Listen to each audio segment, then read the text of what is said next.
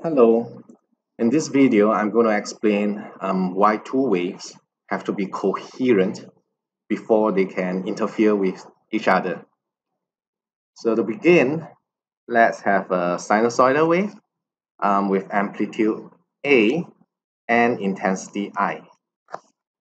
And let's superpose this wave with another wave. Okay, wow, not bad, my drawing. Notice that this second wave that, that I've just drawn uh, has the same period and also the same amplitude and intensity. Now, let me ask you uh, what is the intensity of the resultant wave after the superposition? If we were to ask a, a layman this question, um, the layman will probably answer, oh, it has got to, it has got to be 2i, right? Because um, conservation of energy, mm, i plus i should give us 2i. Uh, these are people who haven't learned the principle of superposition. Uh, we know, right? We know that we have to sum up the displacement first. So actually, uh, it depends, right? If the two waves um, were to superpose in phase, then we're going to get constructive interference. The resultant wave will have amplitude 2a, intensity 4i.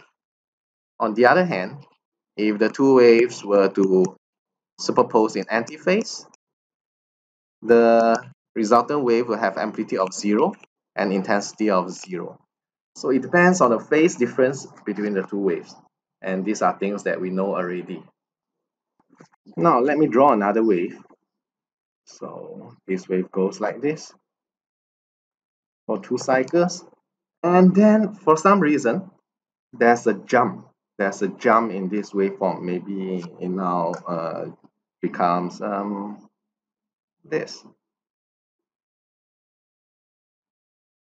Uh, and then we get another abrupt change yet again. Maybe now it, it looks like this. But this uh, continues for two cycles and then we get yet another abrupt change like this. So you may be asking why is happening? Why is there such a wave? Well, this is actually what a light wave does. The light wave that's emitted by um, the light bulb or the sun or the candle flame, they is actually not a continuous uh, continuous sinusoidal wave. The wave is actually emitted uh, in bursts. Uh, each burst lasts about um, 10 to the power of negative 8 negative 8 seconds. Right? It's a very short time, but uh, for light wave, we actually have like uh, about a million cycles, a million complete cycles in this very short duration of time. So I'm drawing just uh, two cycles, but actually we have about a million cycles in this short burst. So every time you get the next burst, you get an abrupt change in the phase. Get it? Now imagine what happens if we try to superpose uh, two such waves. So now let's superpose these two waves. Now during this burst here, the two waves are misaligned by a quarter cycle. If I do the math, I know that the resultant wave will have a intensity of 2i. For the second burst here, uh, this one is obvious because they are in antiphase. So we have destructive interference and the resultant wave has got amplitude of 0. In the next burst, the two waves are off by a quarter cycle again, so I'll do the math for you. The resultant wave has an intensity of 2i. You can do the last burst because in the last burst they are in phase. So we have constructive interference, we get amplitude of 2a and intensity of 4i. So what is the intensity of the resultant wave? Now, because the phase difference between these two waves keep changing, right? It keeps changing. So the outcome of the superposition also keeps changing. So um, we have to start talking about the average intensity, the, the intensity averaged over time. So the average intensity is actually equals to well sometimes it's zero sometimes it's four sometimes it's two and and it can be something else all right but the average intensity is going to be 2i now these two waves are said to be coherent By coherence, we mean that the phase difference is constant. It doesn't have to be zero, it doesn't have to be 2 pi or some special angles. It just have to remain constant. But these two waves are said to be incoherent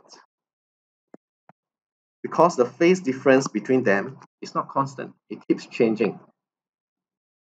The sinusoidal wave is maintained for a very short time only, 10 to the power negative 8, before they, the, it randomly changes to some other phases.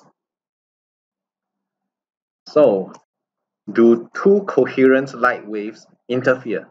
Yes, they do, because uh, depending on the phase difference between them, we can measure that the resultant waves has intensity of 0 or 4i or whatever, do two incoherent light waves interfere? Well, in my mind, maybe maybe we believe they do. Maybe in our mind, we can imagine that it's switching from constructive to destructive to partial constructive to whatever. It keeps switching. But nobody can come up with an experiment that shows that this is happening. That the switching is too fast. 10 to the power negative 8 seconds is simply too fast. Instead, all experiments will show that two incoherent light waves always uh, result in an average intensity of 2i. Nobody can use two incoherent light waves to demonstrate constructive or destructive interference because you'll never be able to measure a resultant intensity of 0 or 4i. You always measure 2i. So in all practical sense, you need coherence before you can observe interference. That's all. Ta-ta!